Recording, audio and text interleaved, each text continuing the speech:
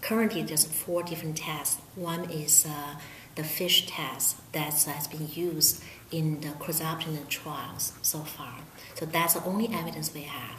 But during the process, we all know with uh, the global effort of uh, tumor profiling, getting to personalized medicine, and uh, DNA and RNA available. So a lot of time, you know, the results come from the uh, RT-PCRs and from the tumor samples available for the molecular profiling test.